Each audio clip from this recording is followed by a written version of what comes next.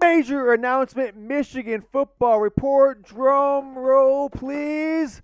We're back, baby, and better than ever. I mean, we've just been basking in the glow, Jack. We uh, we went to Mexico. We uh, we traveled over the world, and uh, we're just excited. I mean, we've been doing a lot of things, but uh, we're back and better than ever. Spring practice got started this week. You excited, Jack? Tell us what you've been up to.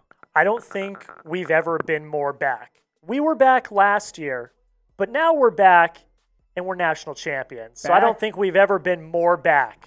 It's more back, back in national champions, and now the focus turns to Atlanta or bust. It's Houston or bust. We, we made it happen, right? Frankly, we made it happen. Now it's Atlanta or bust. 12 team playoff. Michigan going to go back to back, win the national championship. You say I'm crazy? You may want to watch today's show. And end of today's show. Thank you so much to all the people who contributed a $10 super chat or more. And there was quite a few that, many, many of those. Uh, giving shout out and thanks to our producers, super producers, uh, the contributors to the Michigan Football Report. New end screen launches today, so stick around to the end of the show. If you don't have time to watch the whole show, just fast forward to then. Give some shout outs and uh, show love to those people who help make this show possible. It's the Michigan Football Report by Chat Sports. Let's go.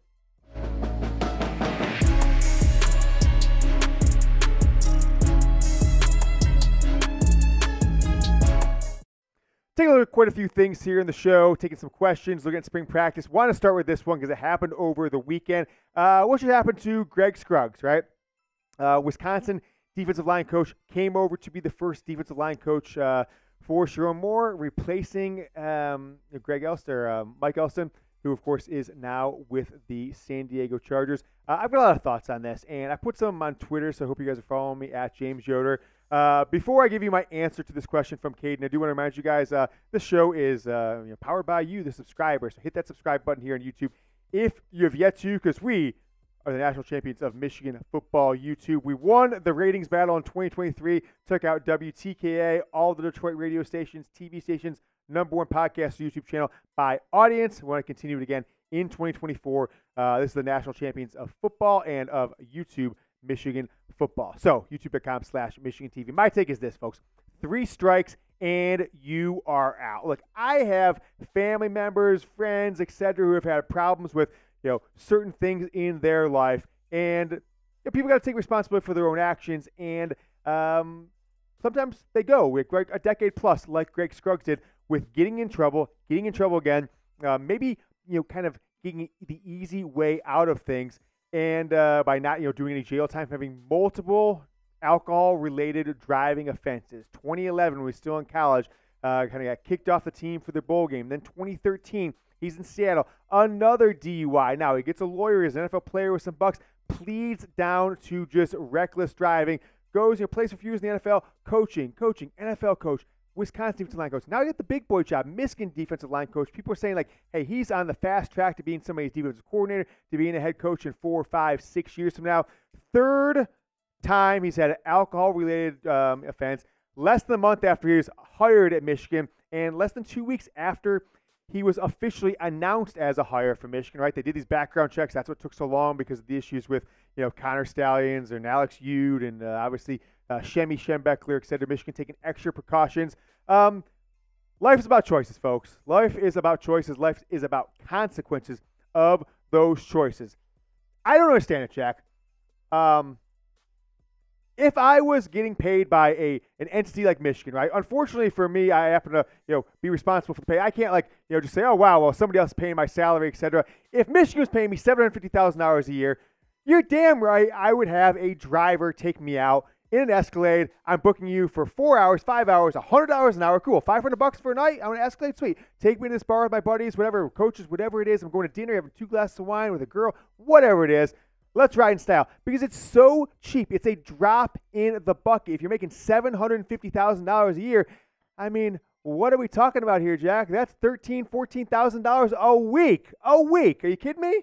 I mean, you're spending a little drop in the bucket, like you said, to not potentially lose your job. Potentially lose your job. It's basically insurance against not being humiliated all across the internet on I think it was Saturday and losing your job and maybe you know take might take him a year, two, three years to really get back into coaching because the stain that's going to be on his um, you know on his his name. Anytime anybody Google's Greg Scruggs, anytime he's talking about, it, oh, is that the guy who have three alcohol related arrests? If the first thing he's going to do, right, is two weeks after his announced, a month after really kind of accepting the job at Michigan, is get this alcohol rated defense blowing a .117, which is probably like four or five drinks um, in the last uh, the hour or two prior to uh, getting pulled over by the police. I think that uh, he's already making bad decisions, and it's going to come back to bite Michigan in the future more likely than not. You don't even want to deal with that if you're Sherrone Moore. There's plenty of great football coaches out there. So uh, Greg Scruggs suspended indefinitely after his arrest last week. And uh, I think before too long that Michigan's just going to announce that they've parted ways with him and he's going to move on. They hope he gets the best help, etc. One more thing to add that uh, with Scruggs. And this is maybe just me be doing math. And I'm not making any accusations against the guy, but if you're going to get pulled over and arrested for driving drunk, driving under the influence, whatever you want to call it, alcohol in your system, well over the limit, you're driving a car three times in a 13 year period, you better believe that I, as a just simple purveyor of mathematics, would say, You've driven drunk hundreds of times. You just got caught three times. So I don't really have any uh, uh, any you know um, sympathy for Greg Scruggs.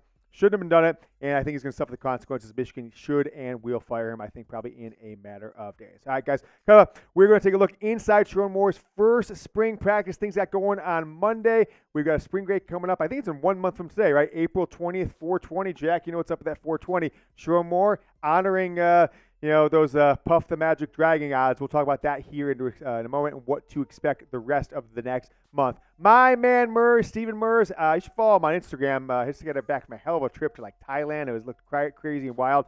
Um, will the new NIL advancements that Michigan's been talking about and rumored, signing deals with Learfield, signing deals with this other agency, will they become a game changer? it's all more smoke and mirrors. Um, I'm a, for me right now, I am a show me, don't tell me when it comes to um, it comes to name, image, likeness. So I haven't seen anything specifically that shows me that Michigan's really changed the game. Right? Ohio State clearly has changed the game. Right?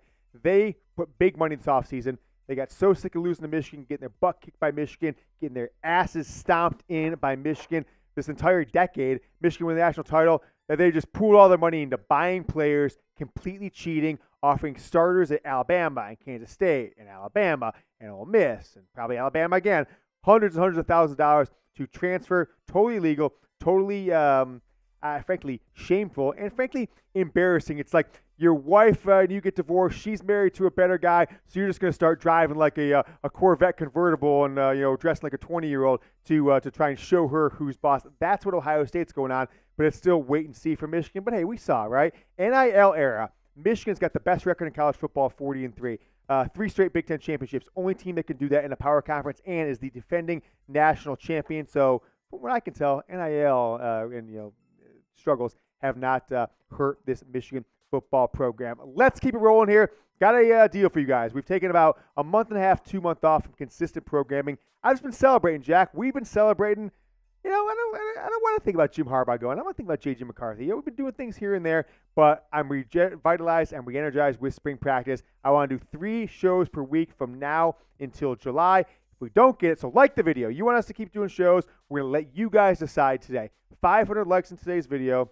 We'll commit to three shows per week from now, April, May, June, July. Next four months, four months and 11 days um, until August. August 1st, we're back with daily programming through the end of the Michigan football season. So, like the video, or we're taking off until August. It's a four month vacation for Jack and I. Mason Pryor coming in on Instagram. Asked me a question on the Instagram story. It's at Michigan Football Report. He says, Have Sherrone Moore's coaching picks met or exceeded your expectations?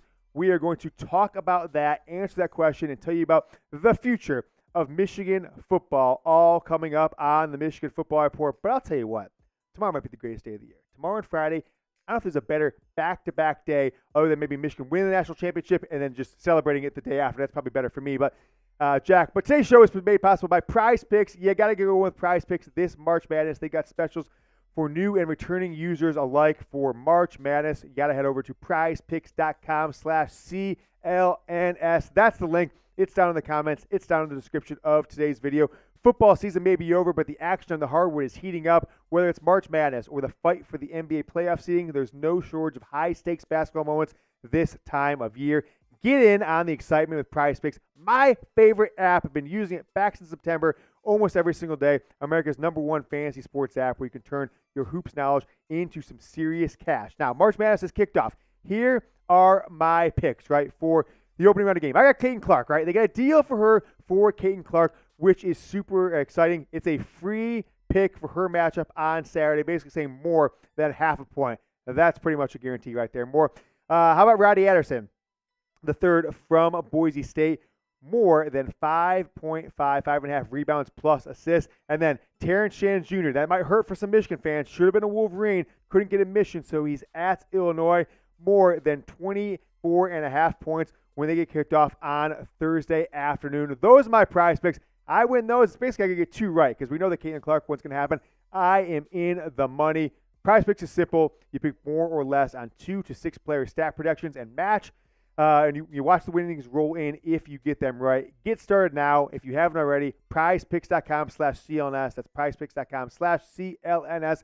First time deposit match of up to $100. You put in 50, boom, extra 50. 100, boom, an extra 100. Pick more, pick less. It's that easy. PrizePicks.com slash CLNS. Back to our question from Mason Pryor. Sherrone Moore's coaching staff. Now, we just talked about Greg Scruggs. So is he going to be part of it? I don't know yet. But here's where we stand outside of Moore himself.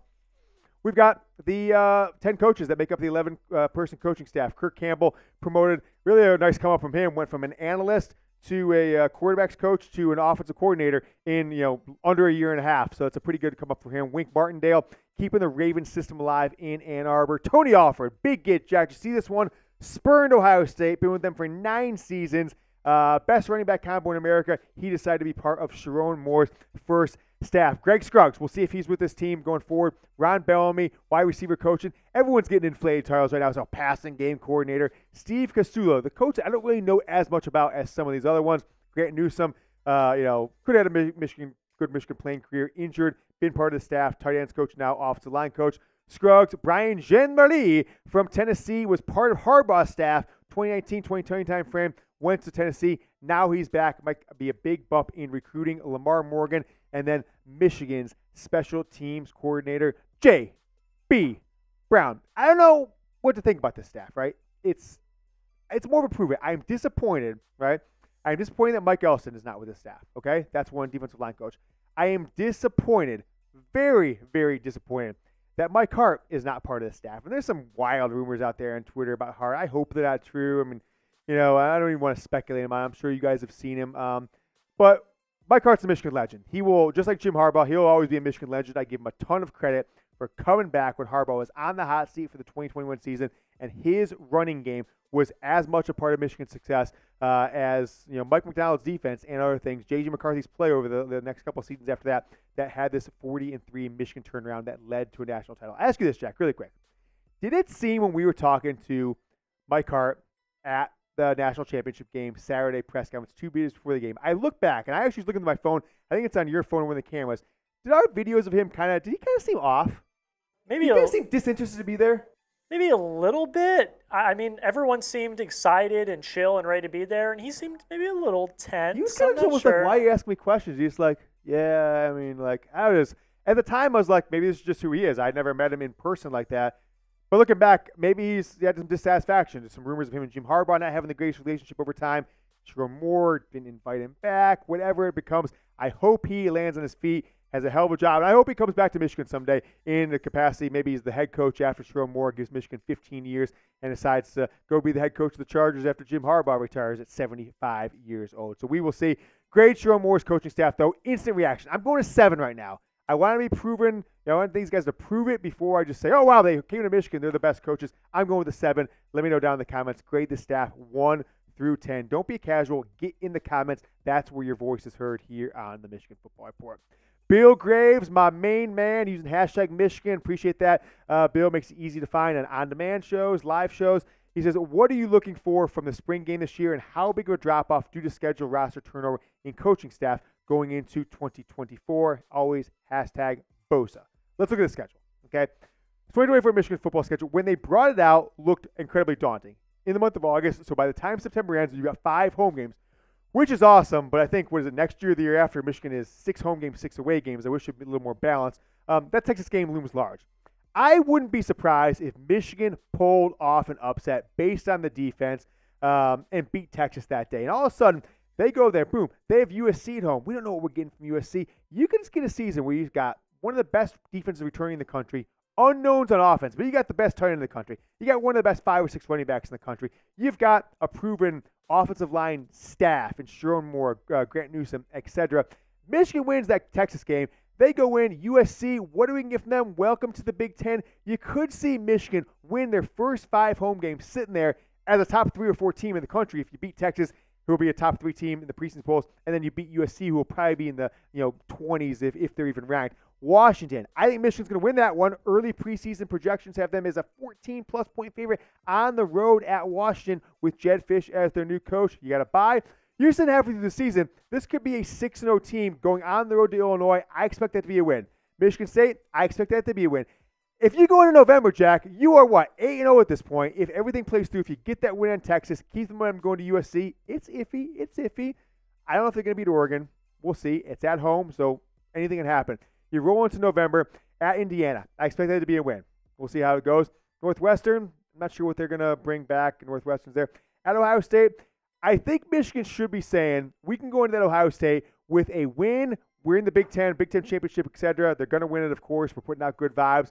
But if they've got one loss or two losses, keep even if they lose that game on the road close, which should be a top three or four, maybe even top two preseason Ohio State team, even if you go nine and three with that schedule, and it's not as daunting had that schedule played this year, right? Imagine if Michael Penix Jr. is back. Imagine if Caleb Williams is back. Uh, that would be a much tougher game. Imagine if the, the Oregon quarterback was back. So all those teams, those teams, including Ohio State, breaking in new QBs just like Michigan.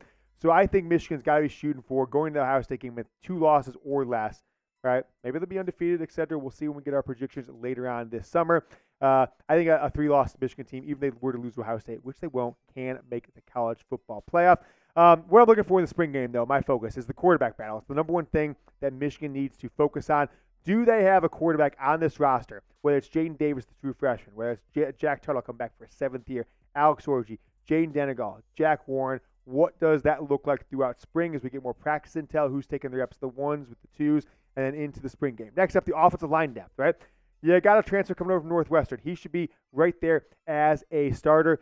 Um, you've got a lot of guys who have played Miles Hinton, Giovanni El Hadi, and others. So I think you've got enough to put four or five guys there that have significant playing experience in the Big Ten, breaking into a couple other ones, not as deep as years past, but hopefully the offensive line, Sherrone Moore still there, could be uh, you know a unexpected strength of the team. How about the running game?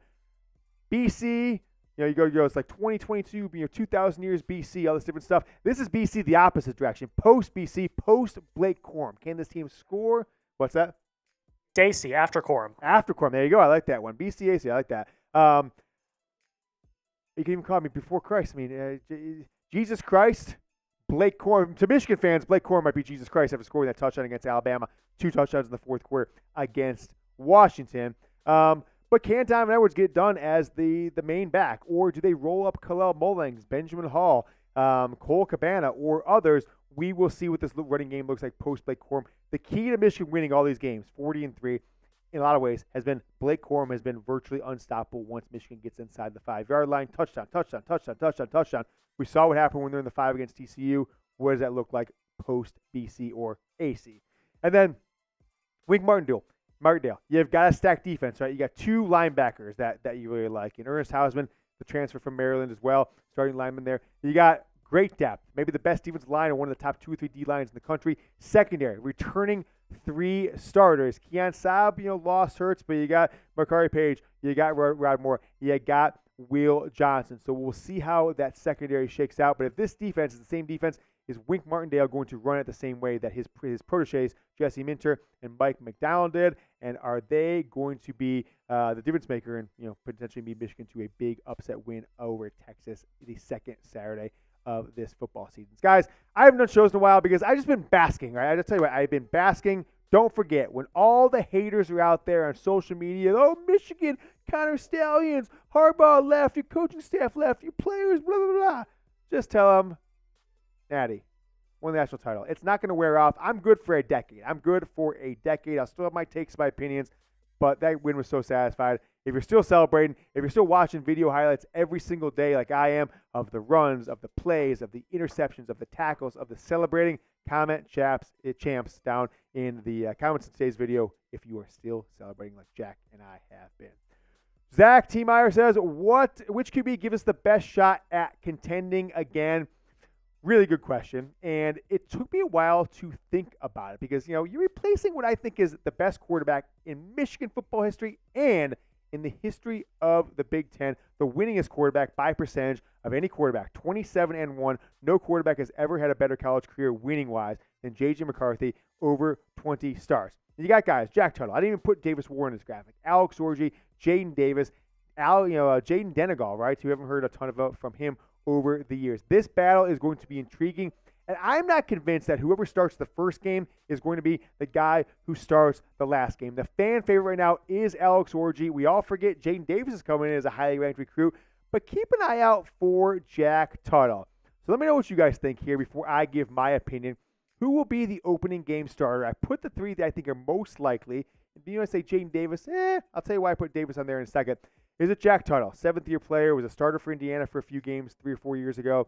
JT in the comments. Alex Orji, give me an AO. We want to say Orgy in the end zone, just like RG3 all season long. Or is it the true freshman Jadyn Davis will come in and start first game as a true freshman? I don't think it's happened since Tate Forcier in 2009, unless I'm missing somebody. Uh, so we know JT, AO, or JD. I'll tell you what. I think it's going to be like this. I think it's possible Michigan starts as many as three quarterbacks this season.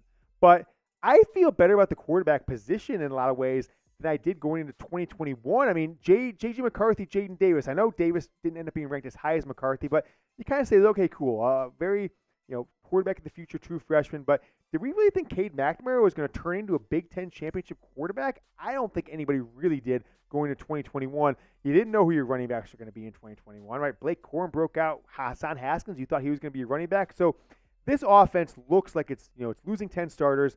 What's it going to look like? But I don't think it's any worse than what Michigan had coming in in 2021, at least his perception and proven ability. So my quick prediction is no inside info on this, so I just want to pretense that. Jack Tuttle gets the start. First game. I think Alex Orji is going to play, and then he's probably going to start the second or third game, right? Maybe if Tuttle plays well, he could start versus Texas, see what happens there. Now, if Tuttle beats Texas, then all bets are off. Maybe they split carries or split uh, snaps. Orji gets a few starts, but I'm just going to put a crazy bet out there that by the eighth or ninth game, Jadyn Davis has proven himself to be the quarterback of the future. Michigan might be you know eight and one at the time. Say, hey, let's roll with Davis, go on the stretch of the field, get into the college football playoff, and roll into 2025 with uh, our quarterback situation settled out. So I say Tuttle starts game one, Davis starts game uh, 12, or and maybe the end of the, the season, and Orji gets a ton of playing time in between there with every opportunity to prove that he is the guy, and that throws my entire prediction way out the window. Reminder 500 likes is required on today's video, or we are taking the next four months and 11 days off. So hit that like button because, uh, you know, if you're watching the show, I assume that you want more Michigan football news, insider information that we always give you throughout spring practice into the summer and uh, leading up to fall practice in early August.